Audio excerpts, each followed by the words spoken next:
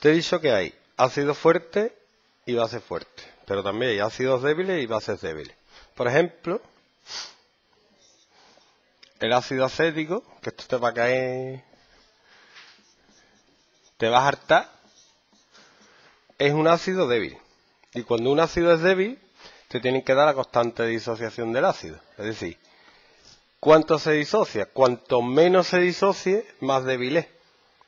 Porque no se forman protones y entonces no te, no te hacen daño.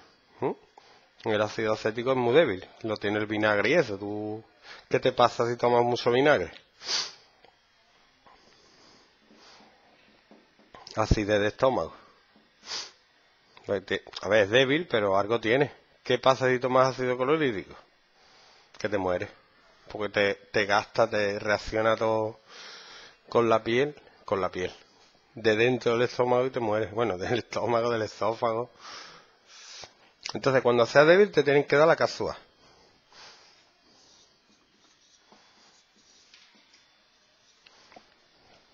¿Mm?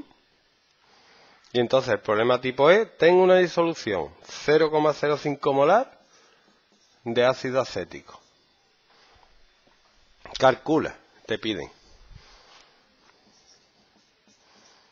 El grado de disociación y el pH.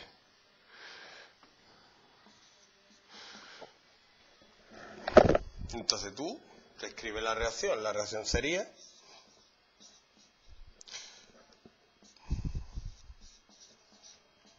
se disocia, o sea, al mezclarse con el agua, se disocia una pequeña parte, pierde un hidrógeno que se va al agua. ¿Vale? Y ahora aquí sí, aquí ya no reacciona completamente. Aquí tú tienes una concentración inicial y en el equilibrio aquí te queda C por 1 menos alfa y aquí te queda C por alfa y C por alfa.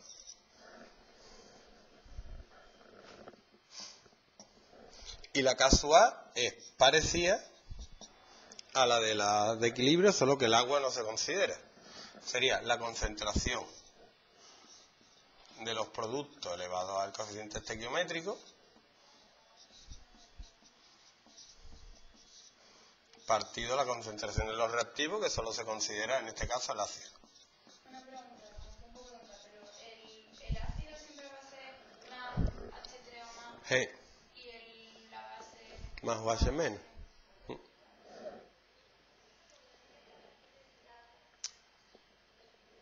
Entonces, en esta fórmula, si yo sustituyo las concentraciones, me quedaría.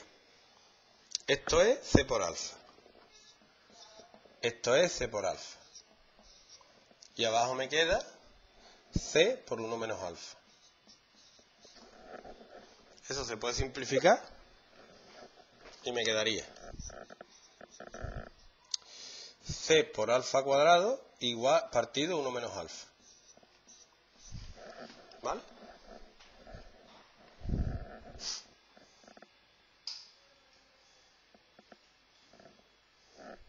Y aquí viene el kit de la cuestión. Tú fíjate que si alfa es muy pequeño, si alfa es muy pequeño, lo de abajo como si fuera un 1. ¿Sí o no? Y se puede despreciar. Y te ahorra un montón de trabajo. Entonces, ¿cuándo se puede despreciar? Mm, ¿Te suena esto no? ¿Cuándo se puede despreciar? Pues depende del valor de caso A. Mm, Una idea así más o menos. Si caso A es mayor o igual o tiene de exponente 10 elevado a menos 4, no se desprecia. Y si es 10 elevado a menos 5, sí se puede despreciar. Si caso A es más grande, alfa te va a dar más grande, entonces ya va a cambiar mucho el valor. Si alfa fuera, por ejemplo, 0,1, la lías parda. Pero si alfa es 0,0001, es que te va a dar lo mismo. ¿En qué te ayuda? En que en esta, por ejemplo, si lo despreciamos, fíjate lo facilito que queda. Caso A igual a C alfa cuadrado. Tú puedes despejar aquí alfa. Quedaría alfa cuadrado igual a sub A partido C y alfa sería la raíz de sub A partido C. Que es fácil, fácil. Sub A 6,5 por 10 elevado a menos 5 y C 0,05.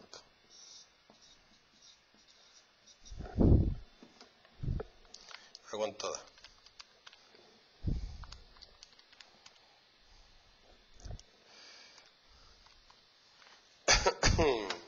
0,036. Fíjate que 1 menos 0,036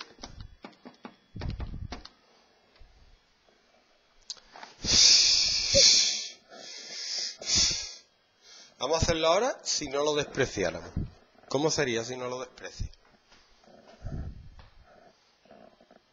Pues te quedaría esto. Atención, te quedaría caso A, que es 6,5 por 10 elevado a menos 5 igual a la concentración C, que es 0,05 por alfa cuadrado partido 1 menos alfa. ¿Qué pasa? Que ahora tienes que pasar esto aquí multiplicando.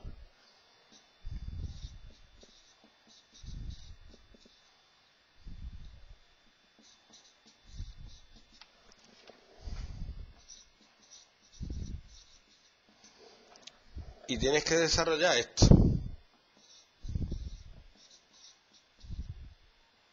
Menos.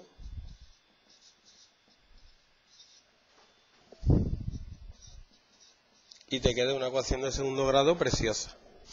Te queda esta ecuación de segundo grado. 0,05 alfa cuadrado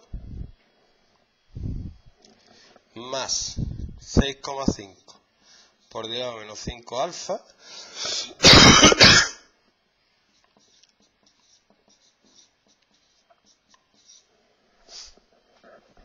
¿Qué pasa? Que es un rollo con la calculadora. Pero tu calculadora tiene truco. Se pueden hacer ecuaciones de segundo grado metiéndole los tres numeritos. Sí, sí. Se puede hackear. No, no, no, se puede hackear.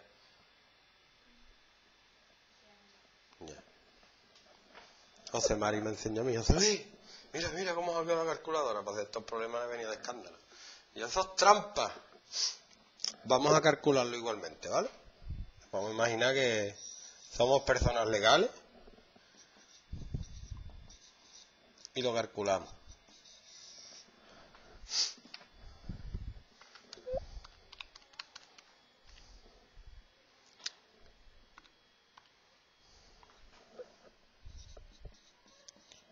Y elevado a menos 9 menos más 4 por 0,05 por 6,5 exponente menos 5. Tú te estás fijando, partido 2A. Tú te estás fijando que esto, sumado con esto, esto apenas influye. Pues esto es 10.000 veces más grande que esto. Tiene 4 ceros más.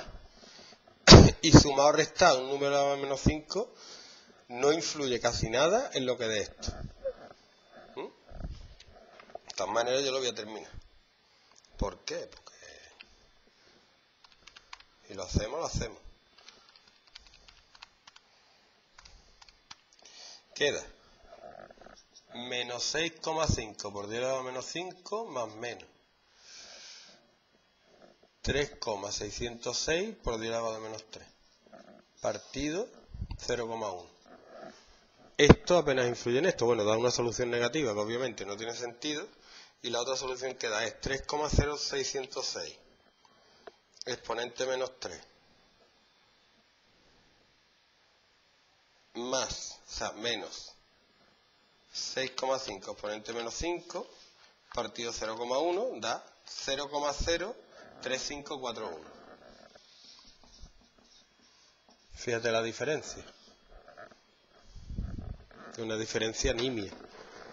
¿Mm? Una diferencia en el... Tienes aquí dos números, esto sería un 0, una diferencia en... de un 1% como mucho, eso no es nada. No pierdes mucha... y te ahorra un montón de trabajo. Entonces, una vez que calcula alfa, pues ya te coge y puedes calcular pH. ¿Cómo? Pues C. Calculo la concentración de H3 o más, que sería C, que es 0,05 por alfa, que vamos a poner 0,036, 0,05 por 0,036, ves que es un ácido débil porque alfa es muy pequeña. Un ácido fuerte alfa es 1, se disocia totalmente, aquí se disocia un poquito, un 3,6%. Es una papa frita. Toda 0,0018. Y ahora calcula el pH, que sería menos el logaritmo de la concentración de OH3O Y esto da 2,74. Bueno. No es tan chica, ¿eh? Los pH son una... Es una escala logarítmica, es decir, una unidad más de pH es 10 veces menos ácida. O sea, si una cosa tiene pH 1 es ácida total. Si tiene 2 es 10 veces menos ácida. Y tiene 3, 100 veces menos ácida que el 1 y así. Y ahora vamos a hacer uno con K sub B.